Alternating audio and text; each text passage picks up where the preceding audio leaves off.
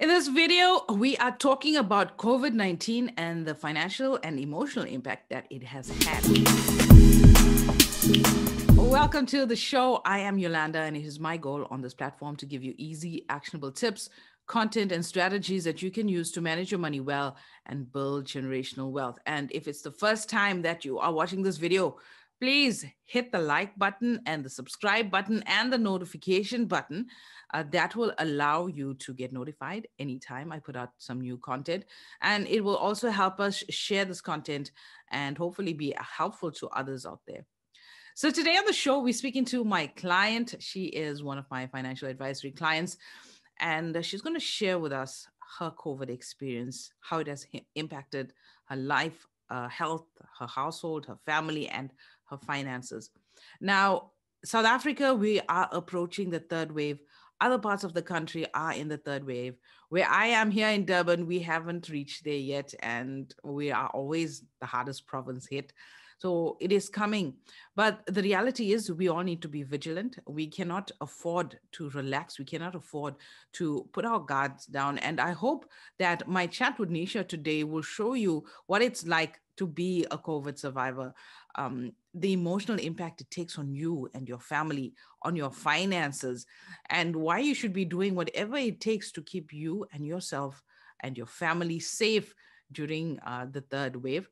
Discovery has estimated 90,000 lives to be lost due to the third wave or due to COVID just this year. Okay. I do not want you to be part of that statistic. So this is the reason for the conversation with Nisha, Nisha today, to uh, to hear about her experiences, uh, what she's done, how she's got it, and surprisingly, you'll be surprised to hear how she picked up this virus, and uh, if you do get it, what you can expect. So let's jump into that chat with Nisha Pillay. Today we have uh, we are speaking to Nisha. Nisha, welcome. How are you doing? Thank you. Well, and you?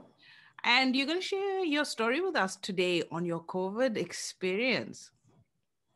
Yes, I am. I am. I'm a bit anxious, but I am going to.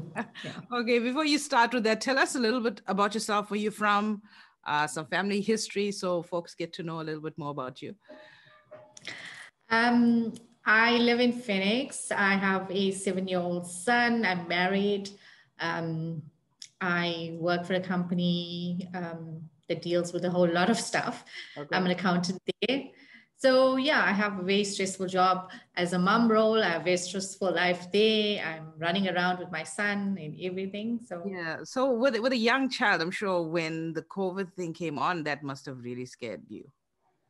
It was. It was very scary, and it's still very scary. My biggest fear, my biggest fear in life was always losing my parents. Now mm. my biggest fear in life is leaving my son on earth without me. Without a mom. Yeah, that must be that must be scary.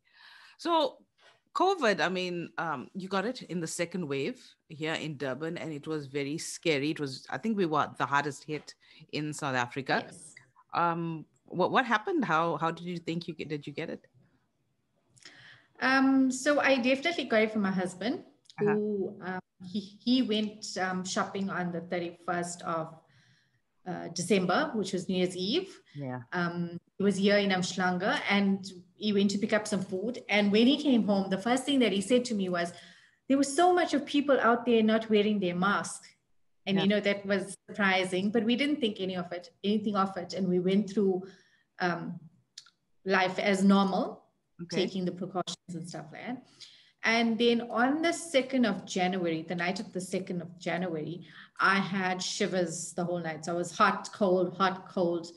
And then the next morning, I woke up and I thought, no, maybe I'm getting the flu. So I sent him to Dis-Chem to get all our vitamins and Flutex. And that's how I went through the week. I went through the week um, thinking I had sinus. And um, I spent the whole week with my parents, with my son, making breakfast. And then on by the Thursday, I just got worse and I decided to do a test and I was tested positive and my husband was tested positive. Okay, so both of you went for a test together. Yes. Okay. And um, thank God for my parents all tested negative. My son tested negative, yeah. and everyone at my husband's work tested ne- negative. So that was all a right. good thing. And um, the first few days of being uh, with COVID, I was like, what is everyone stressing about? Because I was fine. I was normal and I was okay, this is okay. Honestly, said to myself and my husband, you know what, this is okay. There's no issues here. Why is everyone stressing? And by the sixth day, I, I just had lunch and within half an hour, I couldn't breathe. Wow. And I thought I was going to die.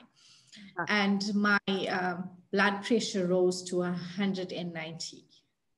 Wow. And I, was, I just was struggling. I was struggling to breathe. Anyway, he got an ambulance. And um, um, can I tell you which ambulance was it? Or yeah, sure. Go ahead. So we co- we phoned um, KZN VIP and they were there within 10 minutes. And there was actually two ambulances that pitched up yeah. within two minutes.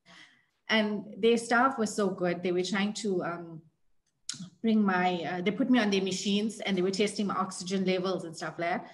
And I think because my pressure was so high, I was, I was, I wasn't, I was struggling, struggling to breathe and stuff like. So they were calling, phoning around for hospitals, and everyone was full. Yeah, it was the peak of the wave. Nobody wanted to take me. Yeah.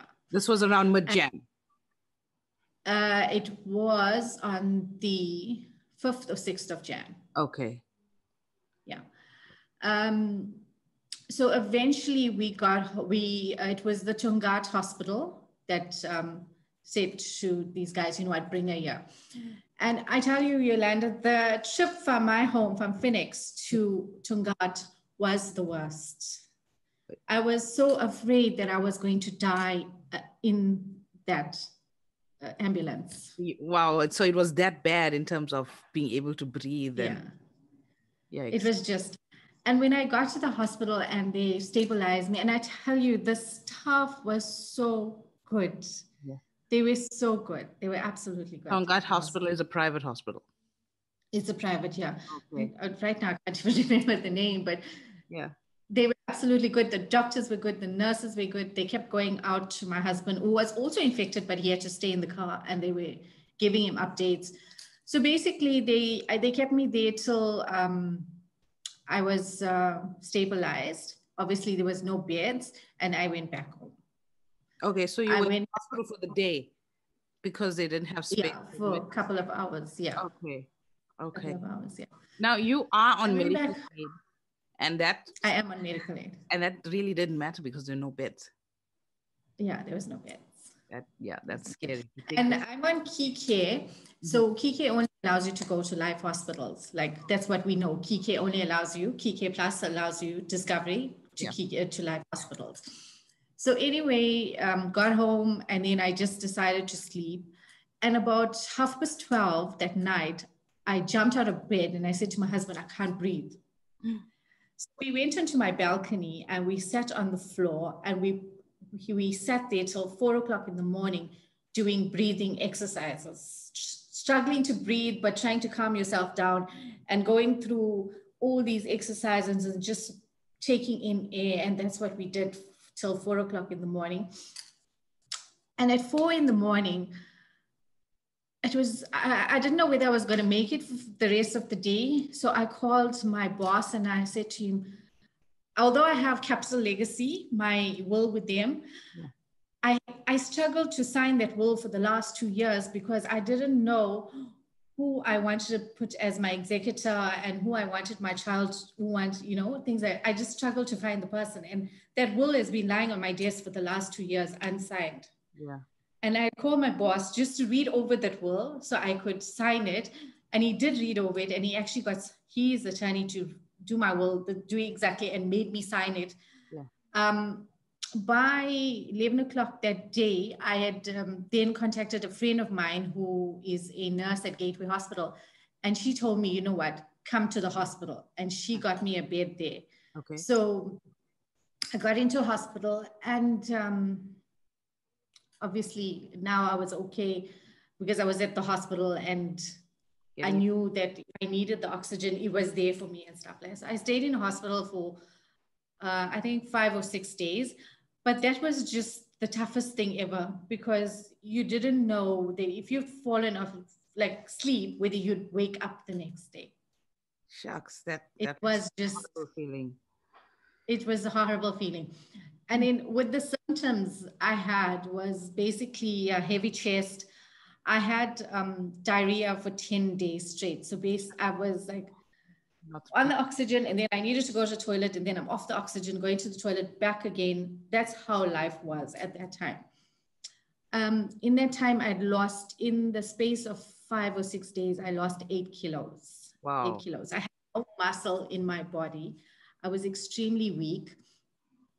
And you just you just become anxious and down and you don't know whether you're going to live the next day. And the worst thing that someone can do during COVID is to be on social media because at that time, everything that you were seeing on social media was rest yeah. in peace, rest in peace, rest yeah, in peace. Scary, Durban. Yeah. And that just puts more anxiety onto you. That's yeah. just more anxiety. And yeah, so. Okay, so you were in hospital for about eight days or so, right? Yes. Okay, yes. and eventually you got well enough to leave. I did. I left and then I got home, and it was actually a Thursday that I, a Wednesday afternoon or Thursday that I got home, and um, obviously with a whole lot of medication, and I was still struggling with the diarrhea. I couldn't eat anything, and then on Friday I'd become um,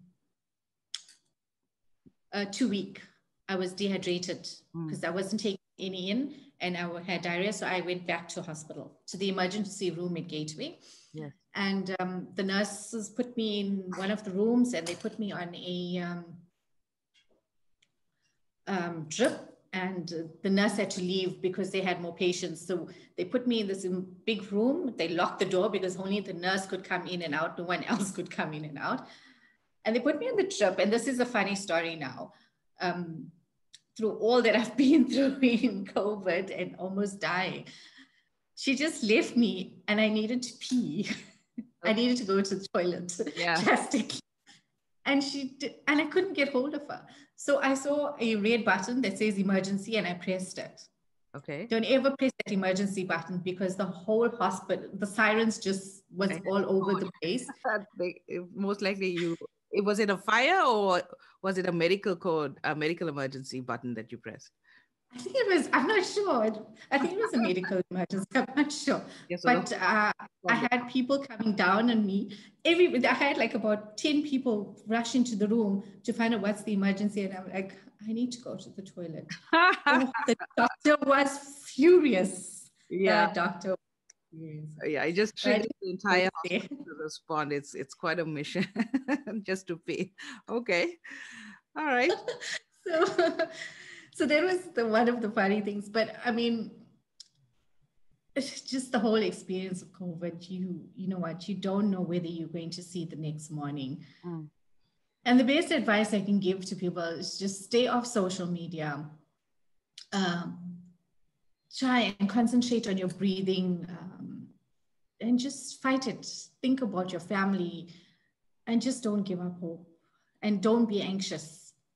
Yeah. Tell us about your physical recovery. How, how was that?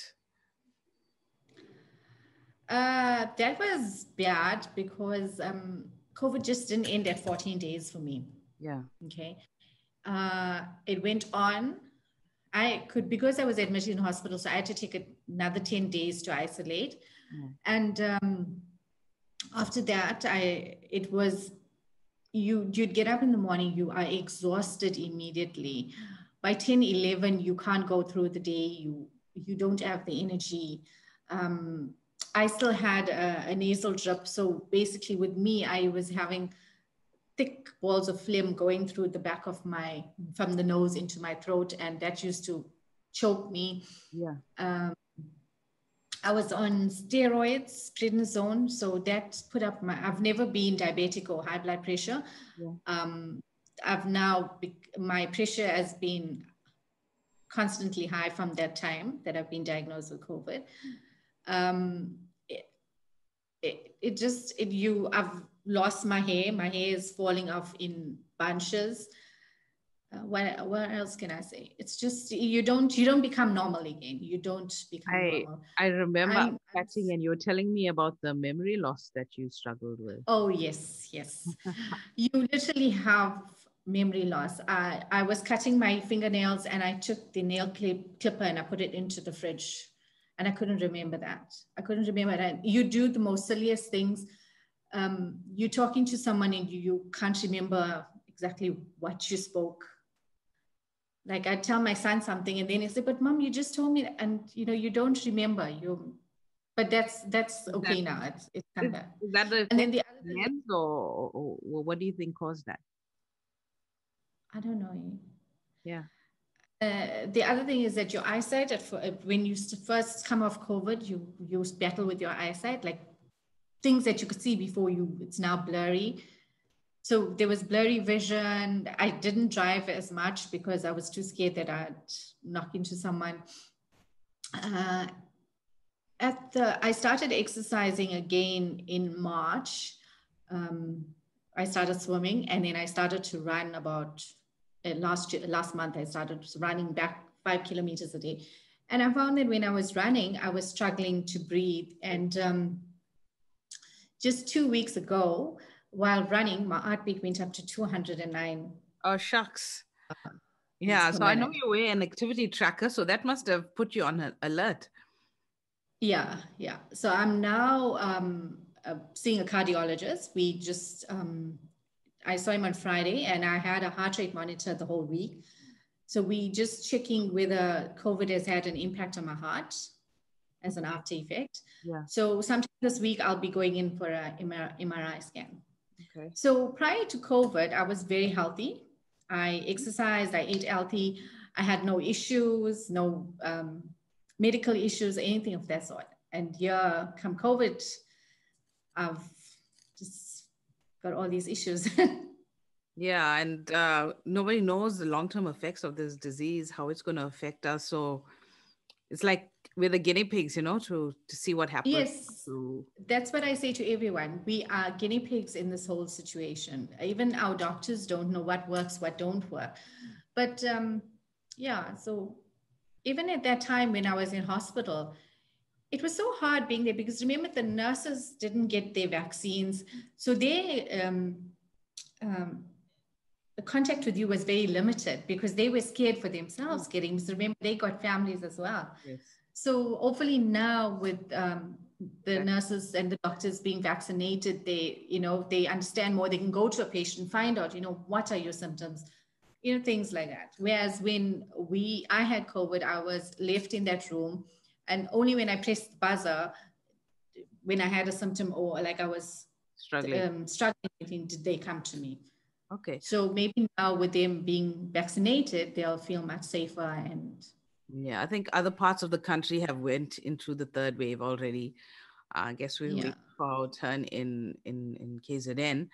So it's up to us to be v- vigilant. Uh, are you are you afraid of maybe contracting the virus again? I am. I'm very afraid. I'm actually very anxious. I stopped looking looking at the uh, the, the stats every day because um, I'm so scared of getting it again. I am so scared. And I honestly, if I do get it again, I don't think that I would make it through the second time around. You mean uh, if, emotionally or health wise? Emotionally and health wise. If, if I experience, I think um, because it hit me so bad, obviously it's affected.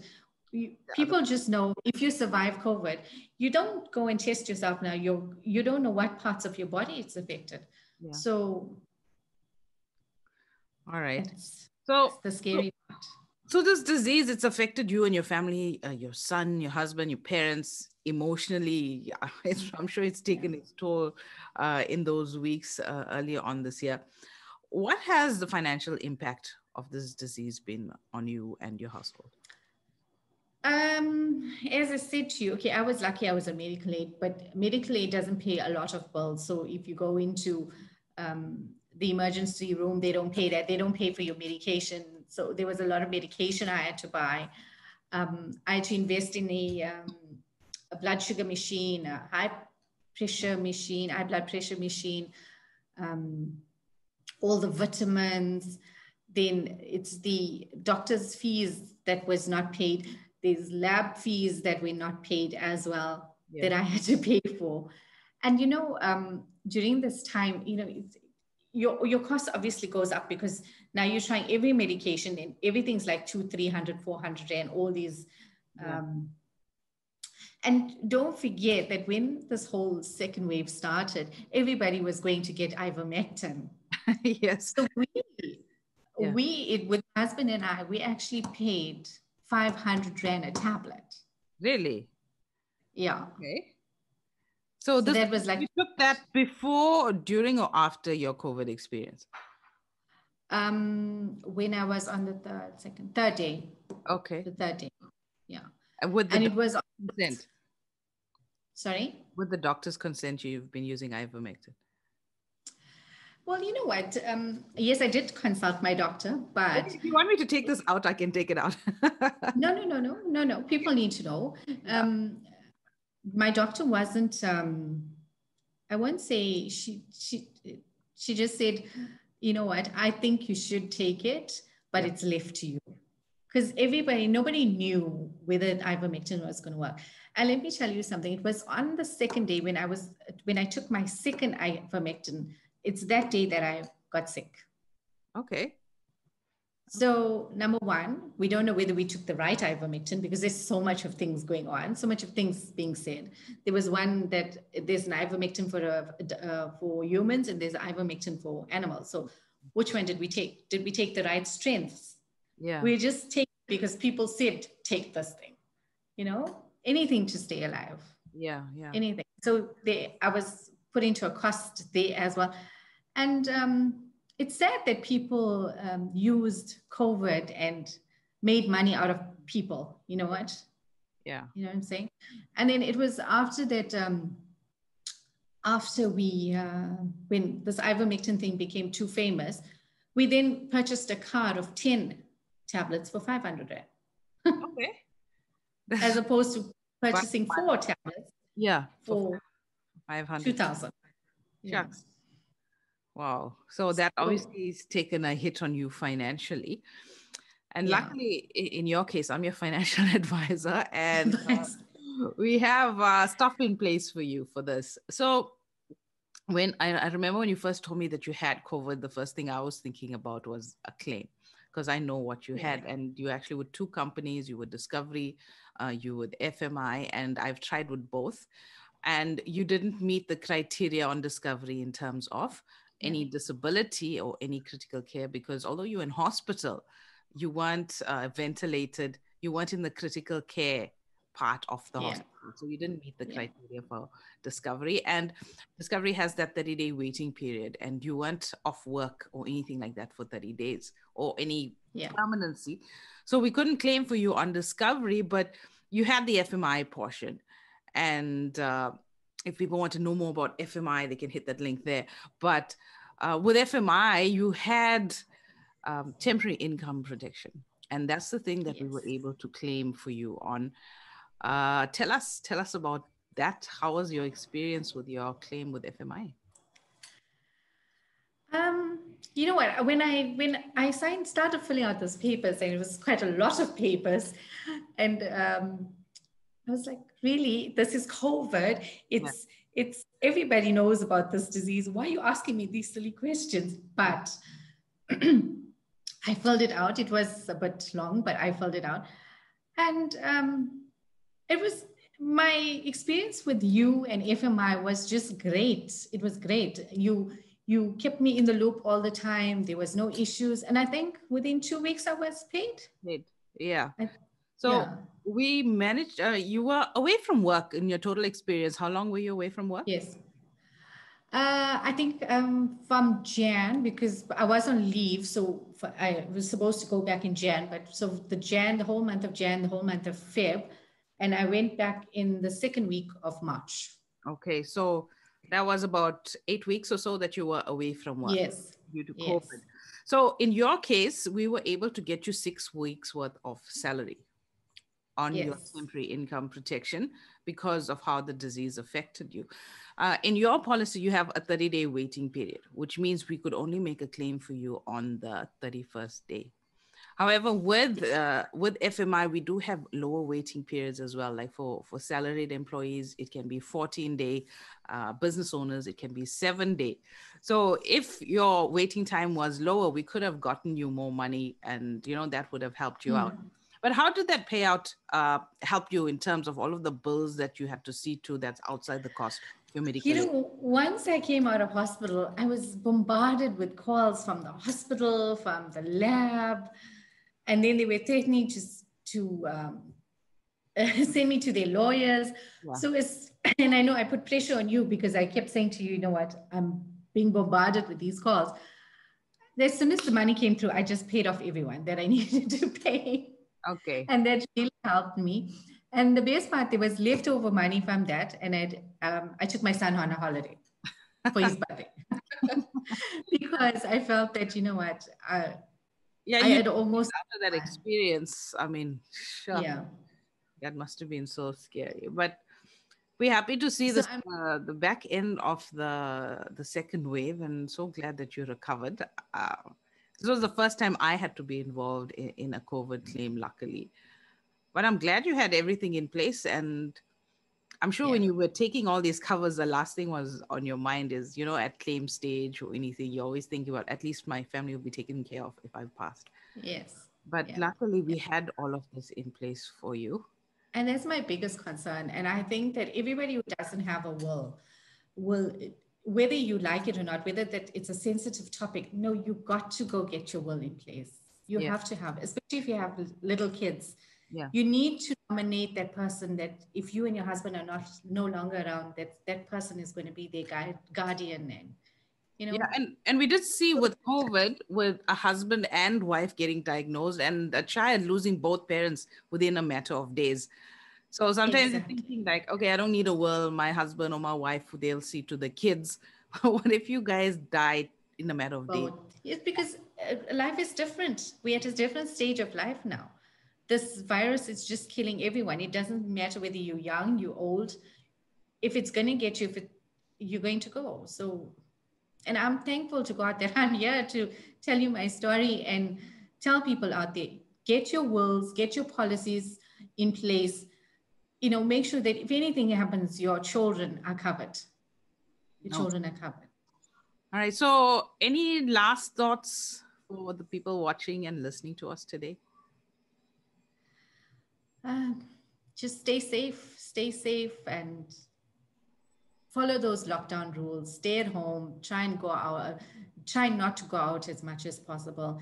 Yeah. And, and now that we that we on the third wave, we've actually decided to do our own lockdown at home. So we are not going out as much as we used to. Yeah. Yeah, no, we've done the same. Actually, last week was the last, the last that my that my helper had come in. So we've gone back to hard lockdown in our home.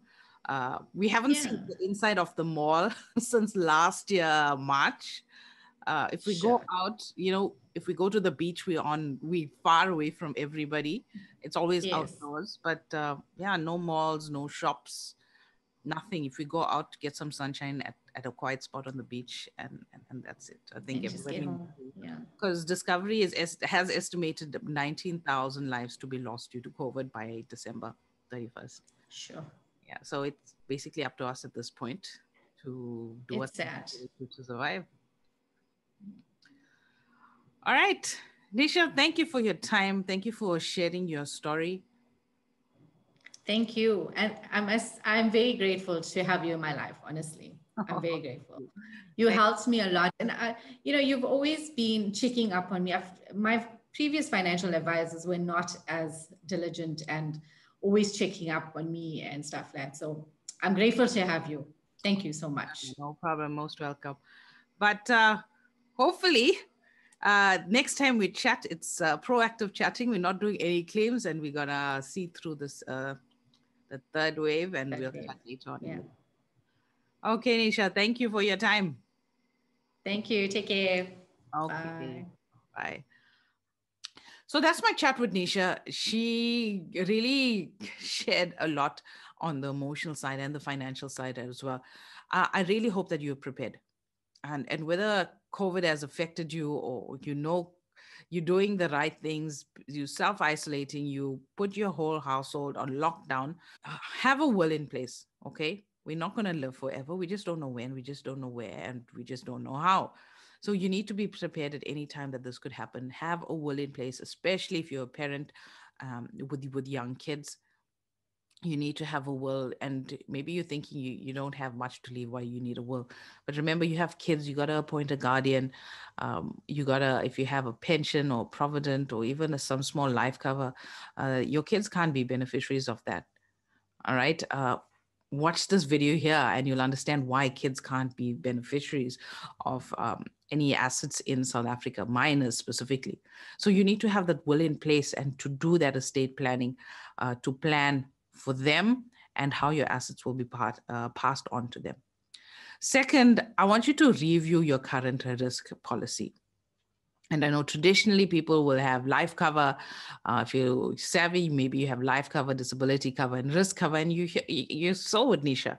I have done Nisha's claim on one of her policies that she had a traditional life, traditional critical illness, traditional disability cover, but I was not able to make a claim for her because she didn't meet the criteria. And that fourth leg you need in your risk cover is temporary income protection. Temporary income protection protects your salary from any medical emergency. If a doctor says that you can't work for whatever reason, you need to be compensated because you won't get paid if you don't work. You don't get paid. If you don't get paid, how will your family survive? So temporary income protection protects against those uh, minor ailments on that impacts you temporarily. Whereas traditional disability covers you for permanent disabilities, whether it's a partial or it's a full on disability, you'd be covered. So I want you to look at your risk portfolio. If you don't have an advisor to help you, click the link below and I will assist you with a complimentary risk review to ensure that you're comprehensively covered for anything that may come your way in terms of um, uh, medical or, or, or death related where you can make a claim. The next thing I want you to do is constantly be reviewing your policy. Your life circumstances change as time goes by. Like now we're in a pandemic and your cover needs to meet your need. So make sure that you have everything in place. All right, so that's it for this episode. I will chat to you next week.